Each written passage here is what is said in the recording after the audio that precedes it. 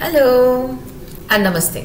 In continuation with the linear algebra topic matrices, we have started with the similarity and diagonalization. Under the similarity and diagonalization, we have completed the part 1 where we have discussed about the eigenvalues uh, which are distinct and corresponding to that how to diagonalize the given matrix.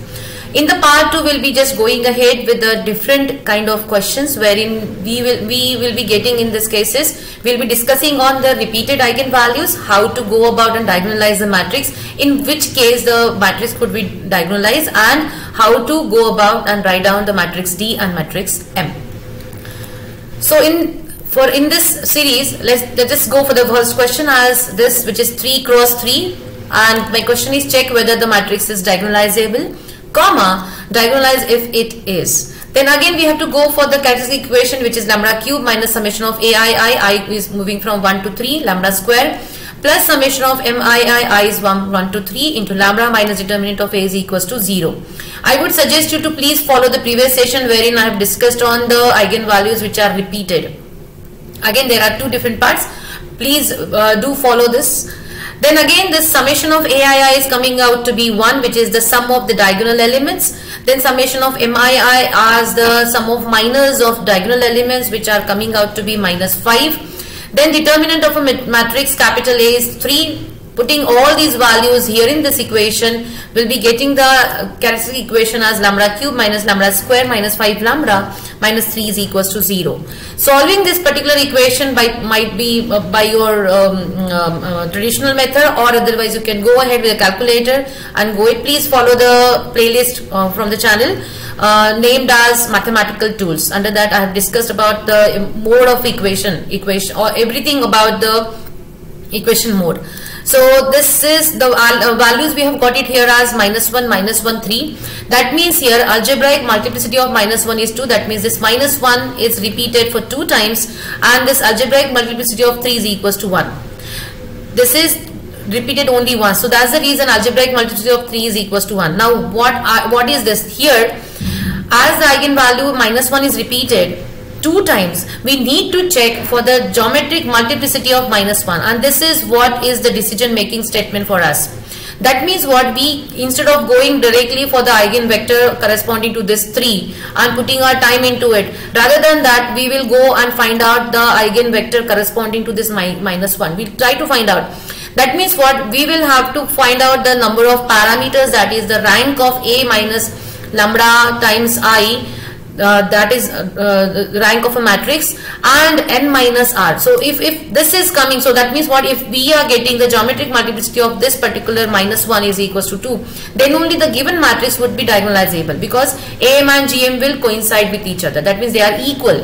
Then only it's it's a it's a possible for us to go for a diagonalization. Otherwise we can't go for a diagonalizable or diagonalization of a matrix. That's the reason this is decision making and we will be going ahead with the first time lambda is equals to minus 1. So we will go first with the repeated eigenvalue. So we have got minus 1 as a repeated. So we'll be going quickly because it's a repeated. We have already discussed based on this how to go about how to find out the row echelon form as it's, it is a repeated. We have to go for a echelon form. We need to find out the rank of a matrix using an echelon form. So if you'll observe here we have got only one non-zero uh, row here in this matrix. And that's the reason we got the rank of a matrix is 1 we have got number of variables 3 and hence we got the number of linearly independent vectors corresponding to eigenvalue lambda equals to minus 1 is n minus r that is 3 minus 1 is equals to 2 please follow the previous session wherein the concepts I have explained uh, in uh, detail about the how when to go for a diagonalization when we can't go for the diagonalization what is algebraic multiplicity what is geometric multiplicity. Please go ahead and follow that concept video first and then go for that. The same video I would be uh, providing you with this I button. Please follow it up. Then that means what? Geometric multiplicity of minus 1 is 2 this 2 is nothing but this is the number which we have got it here. So this 2 is this number. This 2 is this number as 2 and therefore am and gm of minus 1 is coinciding. They are equal. We have got only one vector. From this vector we have to now its parameter means two parameters. That means we have to assume uh, any two of the variables out of x y and z. So we are saying that okay y is equals to t1 z equals to some t2 which are from the real numbers.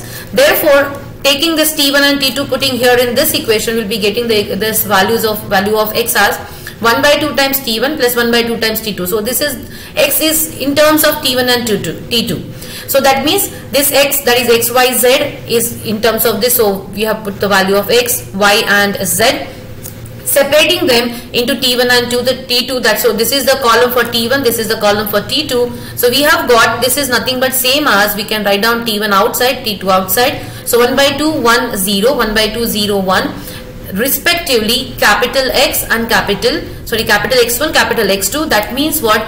We have got X1 as 1 by 2 1 0 1 by 2 0 1 respectively x1 and x2 which are the basis for the eigenspace corresponding to lambda equals to minus of 1 now here we can we can here we can say that okay this because this was a decision making statement for us because if the am of minus 1 and gm of minus 1 coincides they are equal we can say that diagonalization happen that means this particular matrix is diagonalizable. And hence now it's a wise decision to go ahead and find out the next eigen vector corresponding to lambda equals to 3 otherwise it's not required. If we would have got it here not equal here then it's not required for for us to go ahead and find out the eigenvector corresponding to 3 but yes we got it. They are equal. Then it, then there is a, um, diagonalization is possible. Therefore we'll be going for because it's again it's a different eigenvalue you can say distinct we have to go using the Cramer's rule. We'll be finding out the value. We have got the vector as this. I'm purposely giving you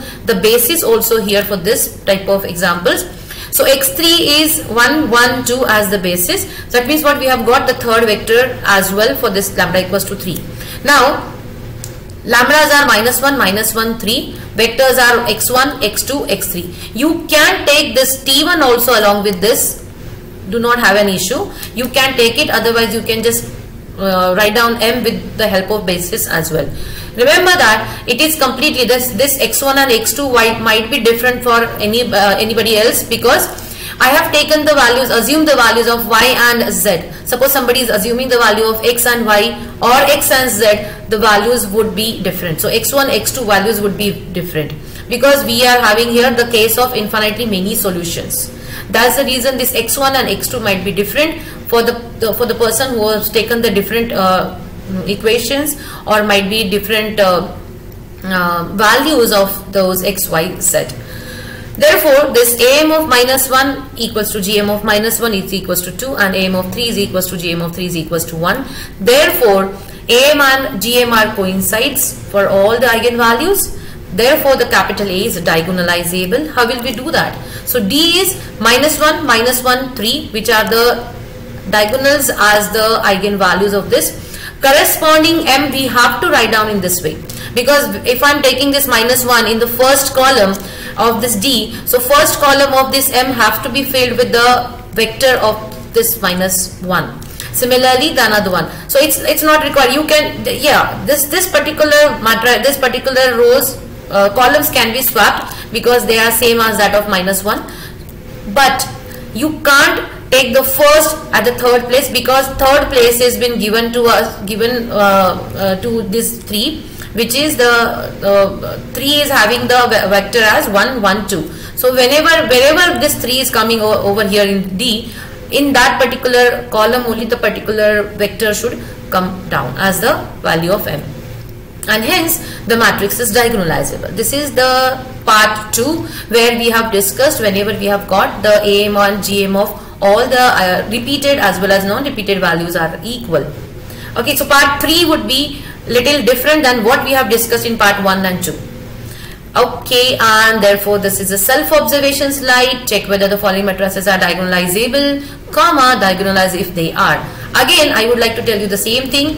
The minus 3 minus 3 is repeating. I have got these vectors I have got these vectors corresponding to what values I have assumed. It would be different for you whenever you are going ahead with. So if you wanted to have this particular first matrix the values are 5 minus 3 minus 3 vectors are 1 2 minus 1 minus 2 0 0 3 0 1 so I have taken here, consider here the basis. You can consider the T1, T2, whatever you have assumed the values inside this M also. That, that can be possible here in this. I hope you have understood this type of uh, diagonalization whenever we have got a repeated and when repeated eigenvalues AM and GM coincides with each other. I think you have understood, right? Thank you. Happy learning. Bye-bye.